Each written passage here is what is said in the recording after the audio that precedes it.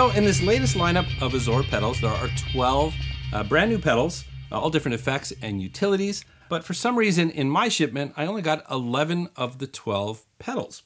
Now the pedal that's missing is a tuner, so we're gonna assume the tuner tunes, uh, but since it has no tone shaping ability, it will not affect this review. However, I will be using my own tuner in protest. But actually, I had to clear my queue of a couple of videos before I got to these, so I did reach out to Azor a couple of times uh, to see if we can secure that 12 pedal. Now, while they were gracious in sending me all these pedals, they've suddenly gone dark on me. I don't know what that's all about. So I'm on my own for this video, but it's not a, a paid review anyway, so all of my opinions are my own. Now, since there are 11 here, I'm going to group them into categories that make sense because we've got four overdrive pedals. Yes, four. I don't know why we have four. Perhaps we're going to find out. We've got a fuzz, we've got two distortion pedals, a compressor, a delay, a chorus, and a reverb. So I'm going to give you a little sampling of all these pedals. And then at the end, I'm going to shortlist my favorite pedals and we're going to build a little mini board and play a little riffage to see how well they play nice together. All right, let's jump into this. All right, before we get into hearing the pedals, I want to share my setup with you. Uh, we're, today we're to be playing the Schecter C1 SLS Elite. We've got the Fishman Fluence Moderns in here. Um, we're running through the series of pedals uh, into the Revv G20. Thought we'd keep the MIDI theme here. We're actually on the clean channel. I'll just show you what the uh, dry signal sounds like.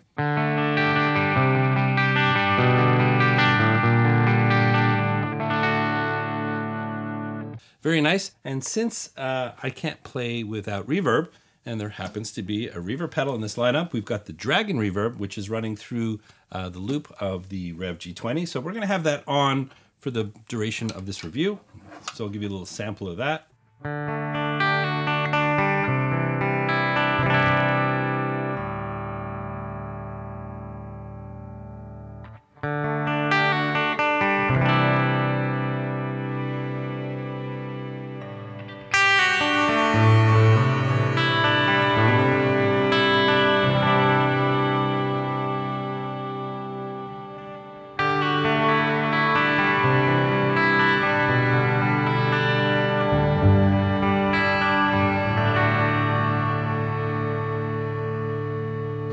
Very nice. Uh, all of the pedals are powered by a One Spot Pro, and effects that belong in through the face of the amp will be in front.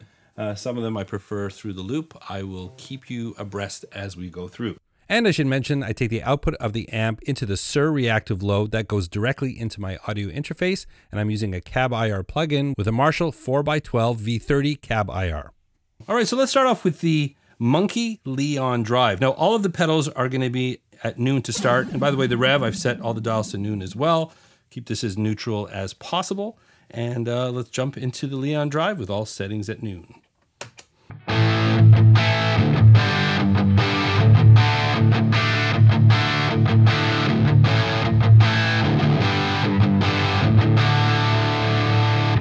So next to it, we've got the Chicken Overdrive.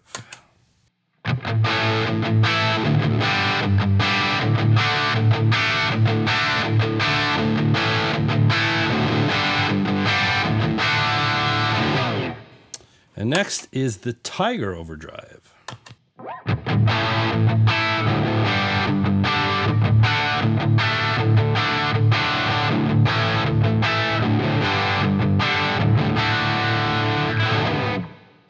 And lastly is the Horse Overdrive.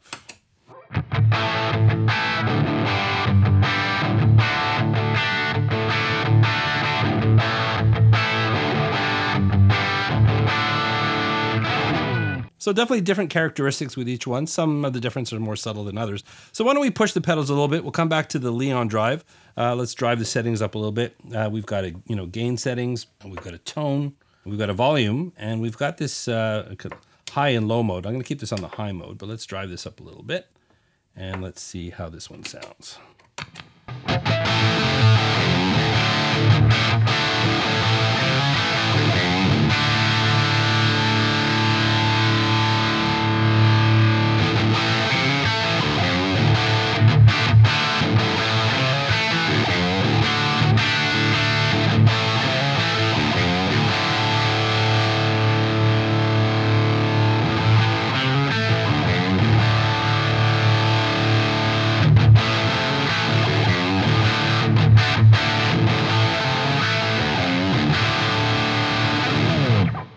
Pretty beefy overdrive. All right, let's see what uh, the chicken has to offer. So we've got bass and treble settings on this one. We've got uh, a gain knob and volume. So let's uh, jack up the gain a little bit. Maybe a little bit of, tighten up the bottom end. A little bit here.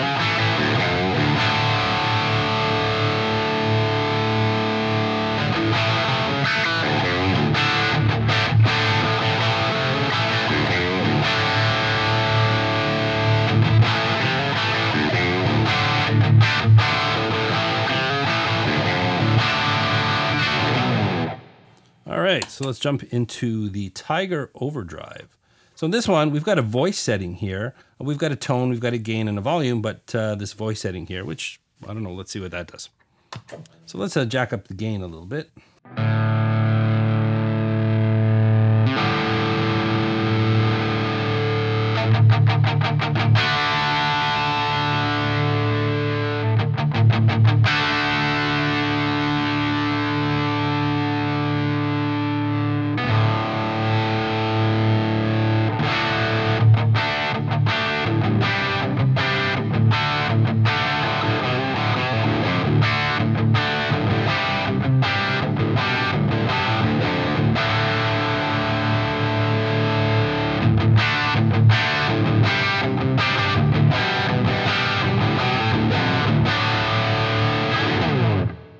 All right, so lastly, we have the horse overdrive. Now we have a drive setting. We have a thing called nature, kind of see what that's all about. And then we've also got a volume.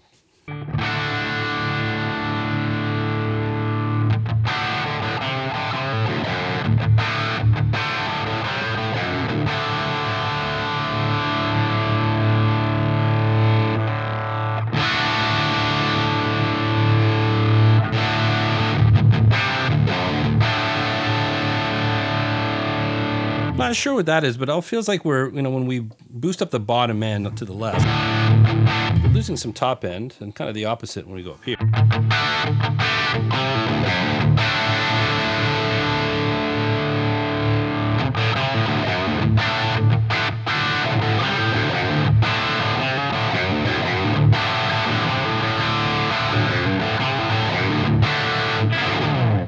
All right, so let's just do a quick comparison uh, between the four overdrives. Back to the Monkey Leon drive.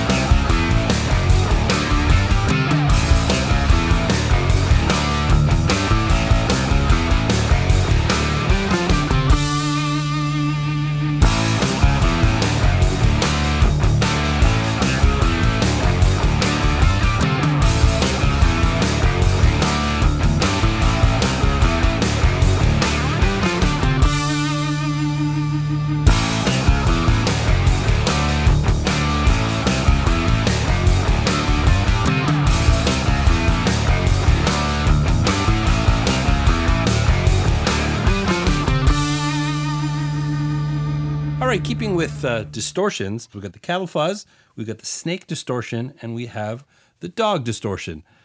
Are you starting to see a theme here yet? Uh, I think it's quite obvious, but I'm not going to tell you. If you sort of figured out the theme of these pedals, uh, don't you let me know in the comment section. All right, so let's start off with the fuzz, just to remind you uh, of our clean tone.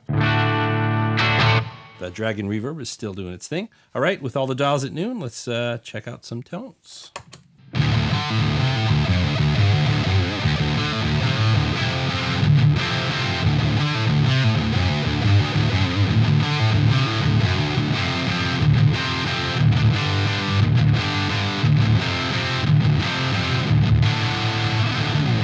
All right, so we have a tone control, we have a fuzz, and we also have a volume. So let's uh, boost up that fuzz. And brighten it up a little bit.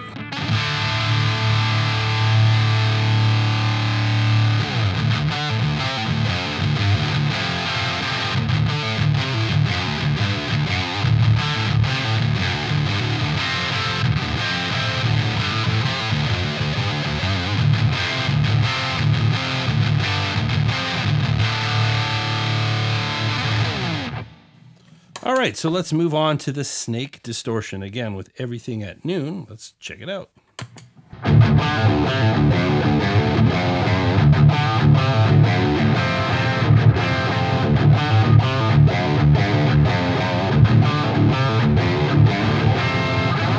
So on this pedal, we've got, again, gain, we've got tone, and we've got volume. So let's just crank up the gain a little bit.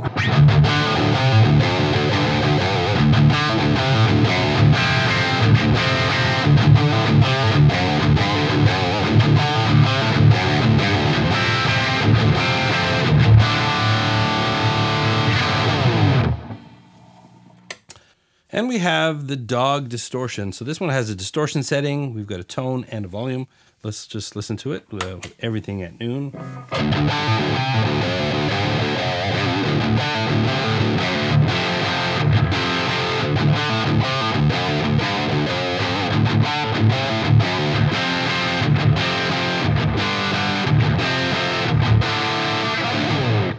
All right, let's jack up some of the distortion here.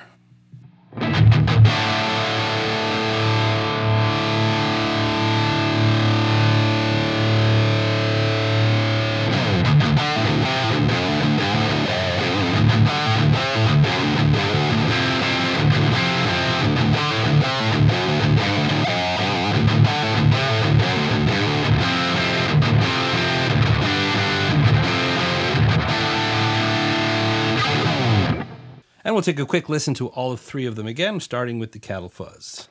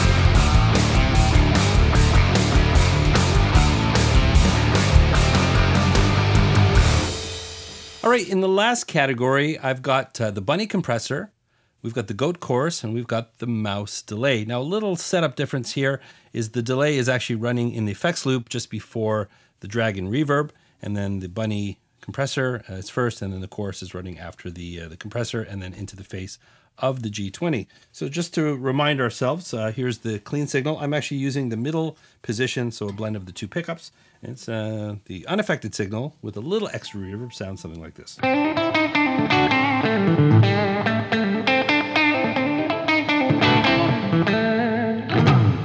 All right, so with the compressor, since it is kind of a subtle effect, I've kind of gone in and tweaked it. Uh, so I have a sort of a, a unity between the effect and uh, the unaffected signal.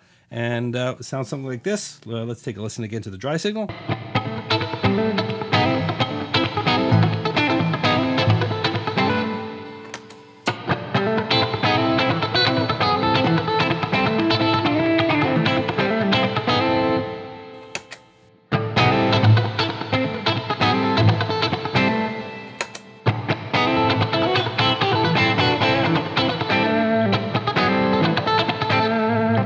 Like. You can feel that sort of chewiness.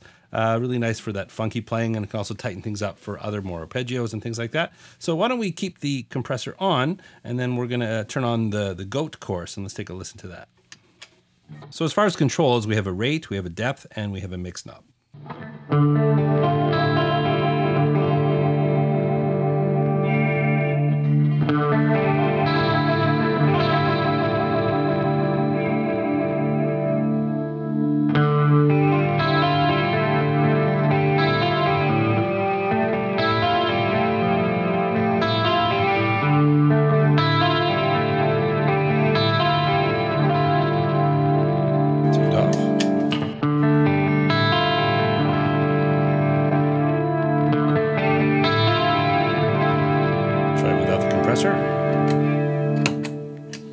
Bypassed.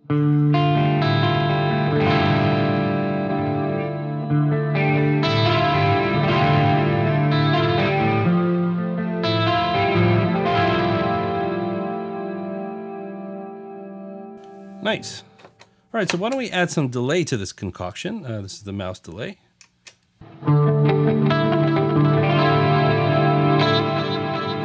Got the number of repeats here. We have the time of the delay, and then we actually have a mix knob here, which mixes the delay into the signal. So let's uh, take a listen.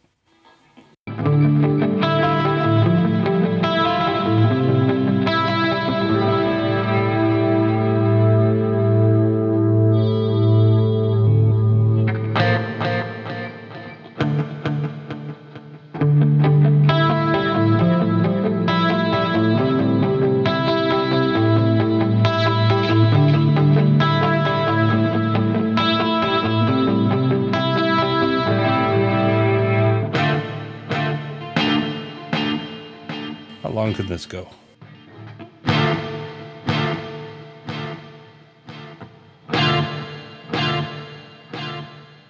Not bad. And what's the shortest delay? Almost like a slapback.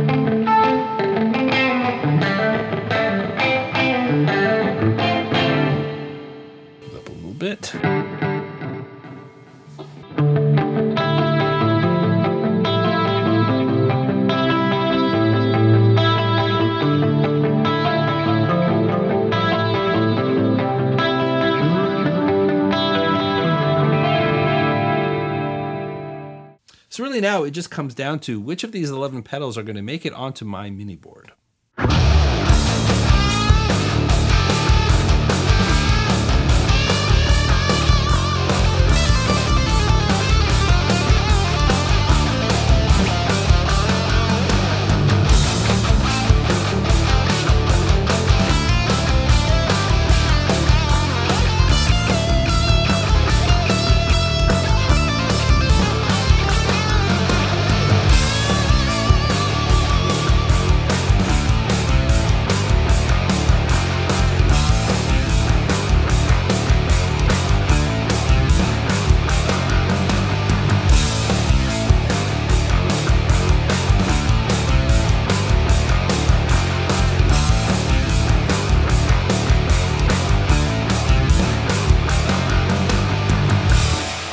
So there's my look at the new line of Azor guitar pedals. So we've got 12. Have you figured out why there's 12? There's 12 and there's four overdrives. We'll get to that in a second. But my choice, uh, I've got five pedals that I chose from the pack of 11. Uh, the compressor, always handy to have a compressor. And you know what? This is a not a bad little compressor. I don't often use compression for heavier tones, but I found it kind of worked in this case. Nice smooth compressor. Uh, in terms of overdrive, there was four to choose from. Why four? There was four. I chose the Monkey Leon Drive. This one just had a bit more. You know, there's a high-low mode, so it gives you a bigger range of overdrive. You know, something like the Horse Overdrive maybe was, you know, a little less, and the the Tiger and the Chicken were somewhere in the middle. To be honest, they weren't that drastically different from each other, and why they needed four, uh, I'll touch on that in a second. But the Monkey Drive definitely had the most. It was beefier and it had a good range, so I went with the uh, the Monkey Drive. Uh, the dog distortion. There was uh, the snake. I found it a little bit creamier. This one's a bit tighter, more articulate, and it paired really well with the Monkey Drive in a multi-track situation. I thought these two worked really, really well together. Uh, need a delay. We had one to choose from, and the mouse delay and the Dragon reverb. Now, in terms of why they went with four overdrives. I get it; they needed 12 to sort of make this theme. But in the previous line of Azor pedals, you know, there was a noise gate, there was an, an EQ. How about a boost? You know, I get it. Maybe two overdrives would have been would have been enough. I think um, the two distortion pedals. I think give you a couple of different options. That's great. For some reason, they chose four overdrives. I don't think they're that radically different. You know, you don't necessarily need all of them, but you can't go wrong with any of them because, especially for the money, I mean, you could stack two or three of these and still spend less than a name brand pedal. And you heard what they sound like. I think they're really good good value for the money. Now, this lineup I think is going to distinguish Azor from the pack of those budget pedals that you see on Amazon and you know all those online sites. The ones that look like this, uh, they've taken more care and design and just give you a really good-looking product, and they're well built and they sound pretty good. Going to cost you a little bit more, but I think overall, definitely worth it. Definitely worth checking out some of these pedals. So I'll put a link in the description uh, if you want more information about those. But if you have any questions at all, any thoughts, have you tried them? Let me know in the description. Would love to hear from you. But if you did enjoy this video, please don't forget to like, subscribe, and ring that bell. If you check the description, there's a number of ways you can help out the channel and help me continue making content just like this. I've got affiliate links, I've got merch, I'm on Patreon. It all helps the channel, and I really appreciate that. But the easiest way to support this channel is simply to just watch another video, and I've got one waiting for you right here. And remember, you don't need a band to rock and roll, and I look forward to seeing you again in another video.